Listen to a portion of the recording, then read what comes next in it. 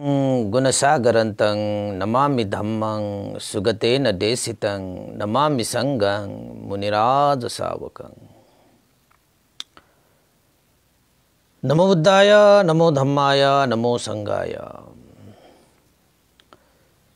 श्रद्धालु उपासक उपासिका तथा सधर्मप्रेमी महानुभावहरू आज मिति दुई हजार उनासी साल असोज एक्काइस गते। शुक्रबार बिहानको आठ बजेदेखि नौ बजेसम्मको फेसबुक लाइभ धर्म देशना लिएर तपाईँहरूको सामुन्ने सदा झैँ आज पनि म भिक्षु विमलो श्री सिद्धि मङ्गल बुद्ध विहार सिद्धिपुर सानागाउँ थसी। महालक्ष्मी नगरपालिका वडा नम्बर छ बुद्ध मार्ग ललितपुरबाट उपस्थित भइसकेको छु। देशना सुन्नको निमित्त देश विदेशबाट फेसबुक लाइभमा जोडिरहनुहुने श्रद्धालु उपासक उपासिका तथा सधर्मप्रेमी महानुभावहरूलाई मङ्गल मैत्री कामना व्यक्त गर्दै आजको हाम्रो त्रिरत्न शरण शीर्षकमा आज हामी देशना गर्दैछौँ। र त्रिरत्नको शरण हामी किन जाने? त्रिरत्नको शरणले के गर्ने भएको कारणले गर्दाखेरि यसको शरण जाने। र यसको शरणमा गएका जो कोही चाहे त्यो मनुष्य होस् चाहे देवता होस् ब्रह्मा होस् कस्तो आनिशंस प्राप्त हुन्छ? आदि इत्यादि बारेमा आज हामी चर्चा गर्नेछौँ देशना गर्नेछौँ। विशेषतः तपाईँहरूलाई भन्न चाहेको त्रिरत्नको शरण हामी किन जाने त भन्दाखेरि त्रिरत्नको शरणले हिंसतीति शरण त्रिरत्नले भनेको हिंसा गर्ने भएकोले शरण जानुपर्ने रे। अब यहाँ हिंसा गर्ने भनेपछि तपाईँहरूलाई फेरि डर लाग्ला। त्रिरत्नले पनि हिंसा गर्छ र भनेर भन्ने प्रश्न उठ्ला। तर यहाँको हिंसा र तपाईँ हामीले बुझेको हिंसा अर्कै छ। त्यो भनेको के हो त भन्दाखेरि हामीले हिंसा भन्ने बित्तिकै काट मार मार्ने काट्ने बलि दिने यताउताको कुराहरू मात्रै हामीले बुझेका हुन्छौँ होइन? त्यो पनि एक किसिमले त्यो हिंसै हो होइन? तर त्रिरत्नको शरणले केलाई हिंसा गर्छ? कसरी हिंसा गर्छ? किन हिंसा गर्छ भन्ने सवाल उठ्छ के उपासक उपासिकाहरू होइन? वास्तवमा त्रिरत्नको त्रिरत्नले जतिको हिंसा यो संसारमा कसैले पनि गर्दैन। तर कसैको ज्यान लिँदैन कसैको हत्या गर्दैन कसैको प्राण लिँदैन कसैलाई दुःख दिँदैन त्यस्तो हिंसा चाहिँ त्रिरत्नले गर्छ। होइन? त्रिरत्नले हिंसा गर्ने भनेको जीवन दिनको लागि हो। सुख दिनको लागि हो। शान्ति दिनको लागि हो। दुःखबाट मुक्ति दिनको लागि हो। परम सुख निर्वाण प्राप्तिको लागि त्रिरत्नले हिंसा चाहिँ गर्छ है फेरि। अब हामीलाई हिंसा भन्ने बित्तिकै डरलाग्दो विषय बन्छ। तर यहाँनिर बुझ्नुपर्ने के हो त भन्दाखेरि अरू हिंसालाई बुझ्यो भने हात हतियार शस्त्र अस्त्र लिएर कुनै पनि प्राणीहरूको लागि प्राण लिने हत्या गर्ने हिंसा गर्ने ठहरिन्छ। तर बुद्ध धर्मसँग त्रिरत्नको हिंसा चाहिँ कसरी त भन्दाखेरि शील समाधि प्रज्ञाको हतियार लिएर लिएर राग द्वेष मोहरूपी क्लेशलाई हत्या गर्छ कि? के हतियार के शस्त्र अस्त्र? शील समाधि प्रज्ञाको यानि कि दानशील भावनाको हतियार शस्त्र अस्त्र लिएर त्रिरत्नले के को हत्या गर्छ? के को हिंसा गर्छ? लोभ द्वेष मोह रूपी क्लेश यो लोभ द्वेष मोह रूपी क्लेशलाई हिंसा गर्न सक्ने भएकै कारणले गर्दाखेरि त्रिरत्न शरण भनिएको। लोभ द्वेष मोह रूपी क्लेशलाई निर्मूल हुने गरी हिंसा गर्न सक्ने भनेको त्रिरत्नको शरणले मात्रै हुन्छ उपासक उपासिकाहरू। अरू कुनै पनि शरणले त्यो सम्भव छैन। यदि त्यो सम्भव भइदिएको भए अरू शरणले पनि निर्वाण धर्मलाई साक्षात्कार गर्न सक्थ्यो। दुःखबाट मुक्त हुन सक्थ्यो। परम सुख शान्ति प्राप्त हुन सक्थ्यो। तर कुनै पनि त्यस्तो शरण यो संसारमा छैन नभएकै कारणले गर्दाखेरि मनुष्य देवता र ब्रह्माहरूले पनि बुद्ध धर्मसँगको शरणमा गएर नै उनीहरूले पनि राग द्वेष मोह रूपी क्लेशलाई हिंसा गरेर दानशील भावनाको हतियार चलाएर शस्त्र अस्त्र चलाएर आफ्नो जीवनबाट सम्पूर्ण दुःखलाई निवारण गरे परम सुख शान्त निर्वाण धर्मलाई साक्षात्कार गरे। त्यसैले भनिएको हिंसा ती ती शरण। त्रिरत्न भनेको हिंसा गर्ने भएकै कारणले शरण भएको हो। त्यसैले संसारमा बुद्ध धर्मसँग जतिको हिंस्रक धर्म त कहाँ पाइन्छ र पाए पाउँदैन। तर हिंसा हिंस्रक भन्दा भन्दै पनि कुनै हात हतियार लिएर कसैको ज्यान लिएर हिंसा गर्ने होइन। कसैलाई दुःख दिनको लागि हिंसा गर्ने होइन।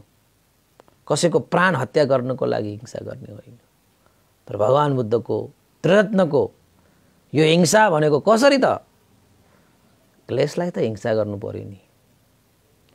लोभ द्वेष मोह मान अभिमान घमन्द ईर्ष्या उदच कुको छ थिएन मित्र आदि इत्यादिले त हिंसा गर्नु पऱ्यो नि। तपाईँलाई हिंसामा रुचि छ भने यस्ता कुराहरूको हिंसा गर्नुहोस् न तपाईँले। यो निर्बल अबोध होइन? यस्तालाई चाहिँ तपाईँले हिंसा गरेर आफूलाई किन बहादुरी देखाउनुहुन्छ? तपाईँलाई हिंसै गर्नु मन लाग्छ भने आफ्नो हृदयभित्र रहेको त्यो राग द्वेष मोह रूपी क्लेशलाई हिंसा गर्नु अनि तपाईँलाई म बहादुर भन्छु अनि तपाईँको पुरुषार्थ देखिन्छ। यो अब यो निर्बलहरूलाई हिंसा गरेर तपाईँ बहादुरी देखाएर कुनै अर्थ छैन कुनै सार छैन। त्यसैले उपासक उपासिकाहरू। त्यसैले उपासक उपासिकाहरू। हामी त्रिरत्नको शरण ग्रहण गर्नुपर्ने हो कारण तपाईँलाई आफ्नो पुरुषार्थ देखाउनुपर्छ। कसरी? दानशील भावनादि हतियारलाई सदुपयोग गरेर लोभ द्वेष मोहलाई परास्त गरिदिने त्यसलाई नै हिंसा भनिएको वास्तवमा। त्यसलाई नै यहाँनिर चाहिँ हिंसती शरण भनेको कारण थियो अब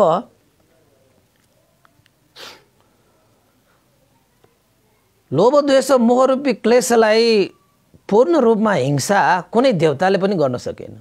कुनै ब्रह्माले पनि गर्न सकेन। नाग गरुड यक्ष गन्धर्व किन्दर्व कसैले पनि गर्न सकेन। त्यसैले यो एकतिसवटा भुवनमा जति पनि सत्व प्राणीहरू छन् कसैले पनि त्यो हिंसा गर्न सकेन।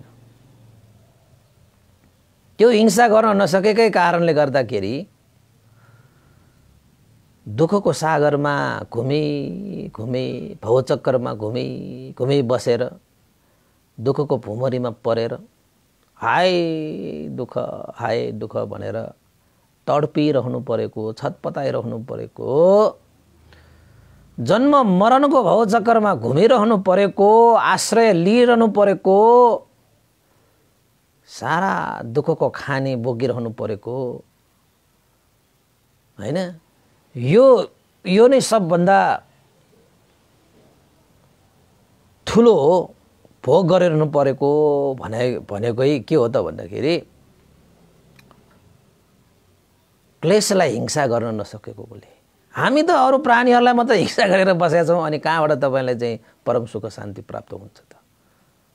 परम सुख प्राप्त हुँदैन। त्यसैले उपासक उपासिका मान्छेहरू वास्तवमा भित्रबाट चाहिँ उसले लोभ द्वेष मोहलाई नै हिंसा गरेर चाहिँ परम सुख शान्ति नै प्राप्त गर्न चाहेको हुन्छ। तर बाहिरबाट भने उसले चाहिँ लोभ द्वेष मोह रूपी क्लेशलाई नै वृद्धि गर्ने कर्महरू गर्न पुगिरहेको हुन्छ। उसको मनले चाहेको एउटा र उसको कर्मले गरिरहेको अर्को त्यो कारण के हो त भन्दाखेरि अविद्याको कारणले अविद्याको कारणले। त यो अविद्या भनेको चाहिँ तपाईँको भौत चक्रलाई घुमाउने जराइ हो यो पनि। यो चाहिँ यो मूल हो यो। हो त मान्छेहरू शरणमा त जान्छन् आफू आफ्नो जीवनमा सुख प्राप्त होस् भनेर दुःखबाट मुक्ति होस् भनेर तपाईँको चाहिँ विभिन्न प्राप्तिको लागि होइन? यो हिसाबले मान्छेहरू चाहिँ विभिन्न पहाडको पर्वतको खोला नालाको विभिन्न यो के के के के यो भनेर तपाईँको हरेकको तपाईँको शरण गइरहेको हुन्छ कि? त शरण किन उनीहरू गइरहेको हुन्छ त भन्दाखेरि चार किसिम चार कारणले उनीहरू शरण गइरहेको हुन्छ। एउटा छन्द द्वेष मोह र भय। यो चार किसिमले शरण गइरहेको हुन्छ मान्छेहरू। छन्द। यानि कि इच्छा आकाङ्क्षा पुरा होस्। होइन मनका चाहनाहरू पुरा होस्। भनेर कोही मान्छेहरू पहाड पर्वत तपाईँको खोला नाला होइन ढुङ्गा मुढा यस्ता यस्ताको पनि शरण गइरहेको हुन्छ। ताकि उनीहरूको चाहना इच्छा आकाङ्क्षाहरू यसले पुरा गरिदेला उसले पुरा गरिदेला। यस्तो होस् त्यस्तो होस् भनेर चाहिँ छन्दको कारणले गर्दाखेरि पनि त्यस्तो शरणहरू गइरहेको हुन्छ। द्वेष द्वेषको कारणले गर्दाखेरि द्वेष रिस तपाईँको चाहिँ क्रोधको कारणले गर्दाखेरि यो ठाउँमा गयो भने मलाई यस्तो हुन्छ यसलाई म यसरी बदला लिन्छु त्यसरी बदला लिउँला बदलाको भावले यसलाई बिगार्नको निमित्त उसलाई बिगार्नको निमित्त भनेर पनि त्यो पहाड पर्वत खोला नाला ढुङ्गा मुढा देवी देवता यो ईश्वर परमेश्वर आत्मा परमात्मा आदि इत्यादिको चाहिँ शरणमा गइरहेको हुन्छ। एक थरीका मान्छेहरू। द्वेषको कारणले गर्दाखेरि रिसको कारणले गर्दाखेरि क्रोधको कारणले गर्दाखेरि बदलाको भावको कारणले पतिको कारणले गर्दाखेरि होइन? र अर्को मोहको कारणले गर्दाखेरि नजानेर नबुझेर लैलैमा भएर कसैले भन्यो भनेर त्यसबाट त्यो शरण गएर के हुन्छ कसो हुन्छ केही थाहा पनि छैन। अन्धकारमा हिँडेको जस्तो अन्डो मान्छेहरू जस्तो अरूले जहाँ जहाँ दोहोऱ्यायो त्यहीँ त्यहीँ डोरिरहने भनेको भनेर धर्म संस्कृति परम्परा रीतिरिवाज नाना थरीकाको बाहनाबाजीमा पनि मान्छेहरू चाहिँ नाना थरीका हिम यो पहाड पर्वत खोला नाला ढुङ्गा मुढा देवी देवता या ईश्वर भनेर परमेश्वर भनेर आत्मा भनेर परमात्मा जब कि छँदै छैन। त्यो आत्मा परमात्मा ईश्वर परमेश्वर भनेको छँदै छैन। यो सृष्टि यो त यो संसार सृष्टि गर्ने ईश्वर परमेश्वर आत्मा परमात्मा भनेको छँदै छैन। किन तपाईँ त्यसमा चाहिँ अब मोहमा पर्नुपर्ने? किन डर मान्नु पर्ने छँदै नभएको चिजसँग तपाईँ डराइरहनु पर्छ बरु यो आत्मा परमात्मा यो ईश्वर परमेश्वरको त्यहाँ भक्ति गर्ने शरणमा जानेहरूदेखि डराउनु पर्छ। उनीहरूले जे पनि गर्न सक्छ। उनीहरूको छन्द द्वेष मोह भएको कारणले गर्दाखेरि उनीहरू बरु चाहिँ डरलाग्दो हुन्छ कि? नभएको चिजलाई सृजना गरेर त्यसो भए त तपाईँले त मान्छेहरूले सृजना गरेको हो ईश्वर परमेश्वर आत्मा परमात्मा भनेको। त हामी के ठानिरहेका हुन्छ? ईश्वर परमेश्वर आत्मा परमात्मा हामीलाई सृजना गर्यो भनेको। यो देवताहरू भनेको तपाईँले सृजना गरेको हो कि देवताले तपाईँले सृजना गरेको त्यही तपाईँलाई थाहा छैन। त्यसमै कन्फ्युज छ मान्छेहरू। होइन? एउटा कुनै ढुङ्गा एउटा चाहिँ पाहाडमा ठ्वाक्क अर्काइदियो रातो सातो केही लगाइदियो त्यसको पछाडि केही चाहिँ ईश्वर थपिदिएपछि ढुङ्गेश्वर भइहाल्छ। तपाईँले सिर्जना गरेको भएन त्यो। होइन? त्यसरी सिर्जना गरेको ढुङ्गेश्वर रे। अब के भयो ढुङ्गेश्वर? ईश्वर थपिदियो ढुङ्गेश्वर। भइहाल्यो नि ढुङ्गेश्वर। त्यो मान्छेहरूले सिर्जना गरेको के? मान्छेहरूले उत्पत्ति गरेको सबै चिज। त मान्छेहरू चाहिँ तपाईँको मोहको कारणले अज्ञानताको कारणले गर्दाखेरि एउटा मान्छे धनबहादुर थियो। धनबहादुरलाई पनि मोहमा पर्यो बिचरा उसले पनि एउटा ढुङ्गा कहीँ देवता बनाएर राखेछ उसले त्यसको त्यो देवताको नाम के हो त भन्दाखेरि धनबहादुरले धनेश्वर भनेर राखिदिएछ। सबैले धनेश्वर भनेर पूजा पनि गरे फेरि। मान्छेहरू त्यस्तैमा लागिरहन्छ कि त्यस्तैमा लागिरहन्छ। भनाइको मतलब त्यस्तो मोहको कारणले गर्दाखेरि पनि विभिन्न सृजनाहरू हुन्छन् कि सृजनाहरू गरिरहन्छ क्या मान्छेहरूले। नामै धनेश्वर ढुङ्गेश्वर होइन? त्यसरी पनि भइरहेको छ। त्यो किसिमले गर्दाखेरि पनि पहाड पर्वत खोला नाला अनि त्यसपछि तपाईँको देवी देवता ईश्वर परमेश्वर आत्मा परमात्मा यस्ता यस्ताको शरणमा मोहको कारणले गर्दाखेरि पनि अज्ञानता भन्छ। मोह भनेको तपाईँहरूले नबुझ्दा फेरि अज्ञानता। होइन? अब यो अज्ञानताको कारणले गर्दाखेरि मान्छेहरू शरणमा जान्छन्। अब छन्दको कारणले इच्छा आकाङ्क्षा चाहनाको कारणले जाने द्वेषको कारणले बदला लिने शक्ति आर्जन गर्ने यस्तो वरदान पाउने यो त्यो गरेर म शक्ति आर्जन गरेर त्यसलाई यसो गर्छु उसो गर्छु भनेर अरूलाई चाहिँ पतिको बदलाको भाव लिएर लिएर पनि शरणमा गएकाहरू हुन्छन् होइन? कसको शरण जाने अब? कसको आराधना गर्यो भने कसको चाहिँ गर्यो भने चाहिँ मलाई यस्तो हुन्छ उस्तो हुन्छ त्यसपछि मेरा विरोधीहरूलाई मैले खत्तम बनाउन सक्छु। परास्त गर्न सक्छु भनेर चाहिँ लाग्नेहरू पनि छन् दोस्रो। तेस्रो चाहिँ यो अज्ञानताको कारणले गर्दाखेरि अज्ञानता त नि गाह्रो हुन्छ डरलाग्दो हुन्छ नि त। होइन? अनि अर्को चाहिँ के हो त भएन भन्दाखेरि भएको कारणले गर्दाखेरि। मान्छेहरू भएको कारणले गर्दाखेरि पनि शरणमा जान्छ। विभिन्न शरणहरूमा जान्छ होइन? यहाँ गएर पूजा गरेन आराधना गरेन यो गरेन त्यो गरेन भने तिमीलाई यस्तो हुन्छ तिमीलाई उस्तो हुन्छ तिम्रो टाउको सात टुक्रै हुन्छ तिम्रो परिवार सबै नासै हुन्छ तिमीलाई यस्तो भए हुन्छ तिमीलाई यस्तो अन्तराय आउँछ। यसरी भए अन्तराय विघ्न बाधा आदि इत्यादि दिने पनि कहीँ देउता हुन्छ। होइन? त्यसरी त हुँदैन उपासक उपासिकाहरू तपाईँको कर्मले गरेर सबै चिज हुने हो नि त। कर्मलाई विश्वास गर्न सिक्यो भने कर्मलाई बुझ्यो भने बल्ल तपाईँलाई धर्मलाई पनि बुझ्छ। होइन? अब धर्मलाई बुझ्यो भने धर्म भनेको त तपाईँले राम्रो कुशल कर्म गर्ने एउटा चाहिँ शिक्षा हो नि धर्म भनेको त। धर्म भनेको त्यस्तो हुनुपर्छ उपासक उपासिकाहरू तपाईँको शरीर वचन मनबाट कुशल कर्म गर्ने शिक्षा हो धर्म भनेको।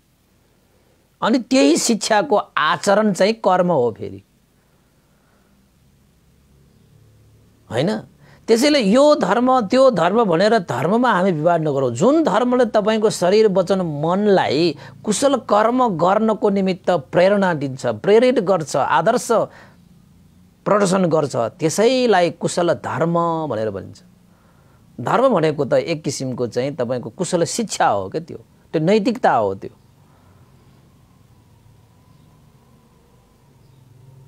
जुन धर्मले शुद्ध कर्म गर्न लगाउँछ तर तपाईँको हिसाब किताब त कर्मकै हुन्छ। अन्तिममा सबै हिसाब किताब कर्मकै हुन्छ नि।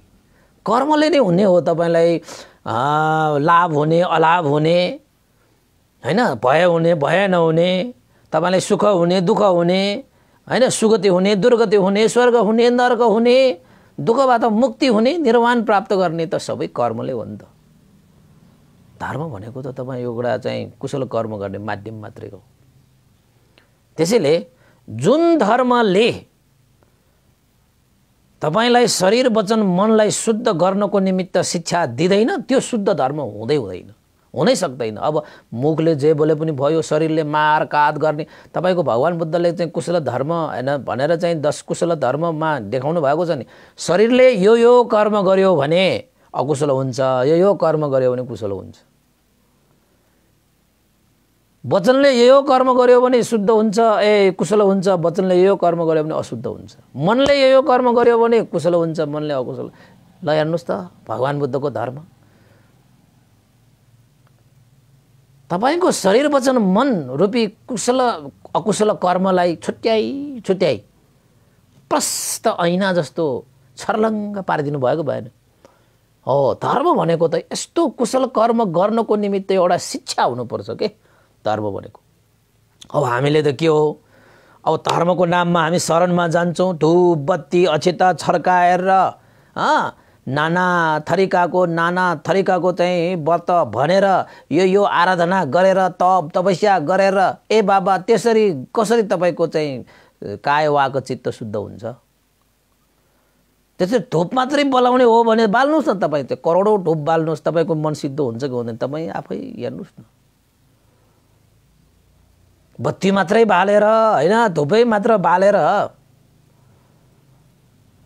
पानी मात्रै छर्केर पानीमा मात्रै नुहाएर जलमा मात्रै झुम्पु झुम्पु डुबेर पहाड पर्वत मात्रै चढेर कसैको हात बजाएर तपाईँको खायो शुद्ध चित्त शुद्ध होला त। अब हामीले त धर्म भनेर धर्मलाई त त्यसरी पो लिइरहेका छौँ त हामीले। ढुङ्गालाई पुज्ने जललाई पुज्ने अग्निलाई पुज्ने पहाडलाई पुज्ने रुखलाई पुज्ने यति मात्रै हो। त्यो त्यो धर्मले तपाईँको शरीर वचन मनलाई शुद्ध गर्छ कि गर्दैन? तपाईँको कर्म शुद्धि भइरहेको छ कि छैन? तपाईँ आफैले अनुभव गर्न सक्नु सक्नु हुने त्यो विषय हो नि त। तर तपाईँको श्रद्धा आस्थाले त्यो बत्ती बाल्नुहोस् धुप बाल्नुहोस् त्यो आफ्नै ठाउँमा छ। तर भगवान् बुद्धको शिक्षाले तपाईँले धुपै मात्र बाल्ने अक्षता मात्रै उ गर्ने फुल चढाउने आदि इत्यादिमा सिकाउनु भएर तपाईँको काय वाक चित्तलाई कसरी शुद्ध बनाउनु पर्छ? तपाईँले एउटा धुप मात्रै बाल्दाखेरि पनि यो आफ्नो चित्तलाई कसरी शुद्ध बनाएर तपाईँले चाहिँ धुप बाल्नुपर्छ? बत्ती मात्रै चढाउँदाखेरि पनि तपाईँले आफ्नो वचनले के बोल्नुपर्छ? तपाईँको हृदयलाई कसरी राख्नुपर्छ? आफ्नो शरीरलाई कसरी चाहिँ संयमित बनाउनु पर्छ सब सिकाएको छ कि छैन? सब सिकाएको छैन। यो कर्म यसो यसो गर उसो उसो गर भनेर सब सिकाउनु भएको छ भगवान् बुद्ध। त्यसैले भगवान् बुद्धको यो त्रिरत्नको शरण भनेको चाहिँ त्यसैले लोभ द्वेष मोह रूपी क्लेशलाई हत्या हिंसा गर्ने भएकै कारणले गर्दाखेरि त्रिरत्न शरण भनेर पनि हो संसारमा सम्पूर्ण सत्व प्राणीहरूले यसै यदि आफ्नो जीवनलाई शुद्ध परिशुद्ध बनाउने हो भने त्रिरत्नको शरण नै ग्रहण गर्न आवश्यक छ। त्रिरत्नको शरण नै ग्रहण गर्नुहुन्छ तर मान्छेहरू नजानेर नबुझेर पहाड पर्वत खोला नाला रुखहरूको चाहिँ शरणमा गएर आफ्नो जीवनमा चाहिँ यो प्राप्ति गर्ने त्यो प्राप्ति गर्ने यसलाई म यस्तो गर्छु उसलाई म यस्तो गर्छु ए यो सबैले गरिराखेको केही पाउलान् नि भन्ने आशाले र कसै कसैले त डर मानेर त्यहाँ गएन भने के होला र यसो होला कि त्यसो होला भनेर डर त्रासको कारणले गर्दा गर्दाखेरि पनि मान्छेहरू शरणमा गएका हुन्छन्। तर वास्तवमा यी सम्पूर्ण जति पनि शरणहरू छन् यी शरणले तपाईँलाई सुख दिँदैन शान्ति दिँदैन। किन दिँदैन त भन्दाखेरि ती शरणहरूले तपाईँको हृदयमा भएको लोभ द्वेष मोहरूपी क्लेशलाई निर्मूल गर्न सक्दैन। कहीँ पार पहाडमा चढेर पर्वतमा चढेर रुखलाई पूजा गरेर पानीलाई पानीमा पूजा गरेर तपाईँले आफ्नो हृदयलाई शुद्ध परिशुद्ध गर्न सक्नुहुन्छ। तपाईँको काय वाको चित्तलाई शुद्ध गर्नको निमित्त त तपाईँको कर्म शुद्धि हुनुपर्छ। कर्म शुद्धि गर्नको निमित्त तपाईँको धर्म शुद्धि हुनुपर्छ। धर्म भनेको यहाँनिर तपाईँको लागि शिक्षा हो। त भगवान् बुद्धको जुन शिक्षा छ त्यसैलाई नै धर्म भनिएको। त भगवान् बुद्धको धर्म भगवान् बुद्धको शिक्षा कस्तो छ? शरीरले यो गर नराम्रो हुन्छ यो गर राम्रो हुन्छ। मनले यो गर राम्रो हुन्छ यो गर नराम्रो हुन्छ। वचनले यो गर यो न कसरी छुट्याएर देखाउनु भएको छ? तपाईँ पढ्नुहोस् न तपाईँ अध्ययन गर्नुहोस् न। त भगवान् बुद्धको शिक्षा तपाईँ जति जति अध्ययन गर्नुहुन्छ जति जति अध्ययन गर्नुहुन्छ त्यति त्यति गहिराइमा तपाईँ छिर्नुहुन्छ त्यति त्यति नै विशाल गम्भीर भएर आउँछ भगवान् बुद्धको शिक्षा। जसरी तपाईँ समुद्रमा छिर्नुभयो भने त्यो समुद्रमा त ओहो हेर्दा बाहिर हेर्दाखेरि नि कति विशाल छ होइन? तपाईँ बाहिर हेर्दाखेरि त्यो समुद्र जति विशाल देखिन्छ तपाईँ जब समुद्रमा छिर्नुहुन्छ त्योभन्दा हजारौँ लाखौँ करोडौँ गुणा विशाल देखिन्छ। किन भन्दाखेरि त्यहाँको गम्भीरता त्यो समुद्र भिन्नको गहिराई तपाईँले देख्नुभयो भने अझै गम्भीर अझै गम्भीर अझै गम्भीर। हो भगवान् बुद्धको यो धर्म यो शिक्षाहरू पनि त्यसै। तपाईँ छिर्नुहोस् मात्रै। सबभन्दा पहिला तपाईँ शरणशीलबाट छिर्नुहोस् शरणशील भनेको बुद्धङ शरणङ गच्छामी धम्मङ शरणङ गच्छामी सङ्गङ शरणङ गच्छामी। म बुद्धको शरणमा जान्छु म धर्मको शरणमा जान्छु म सङ्घको शरणमा जान्छु भनेर शरणशील लिएर तपाईँ बुद्ध शासनभित्र छिर्नुहोस् त्यसपछि पञ्चशीललाई ग्रहण गर्नुहोस्। म प्राणी हिंसा गर्दिनँ चोरी गर्दिनँ व्यविचार गर्दिनँ छोटो कुरा बोल्दिनँ लागु पदार्थ सेवन गर्दिनँ भनेर तपाईँ त्यो शिलभित्र चाहिँ छिर्नुहोस्। अथाह धर्मको सागरमा तपाईँ प्रवेश गर्नुभयो अब। र त्यही शरणले त्यही शरणले तपाईँलाई शुद्ध गर्छ परिशुद्ध गर्छ निर्मल गर्छ विमल गर्छ। तपाईँसँग भएका क्लेश तपाईँसँग भएका पाप कर्महरू अकुशल कर्महरू क्लेशहरू साराका सारा निर्मूल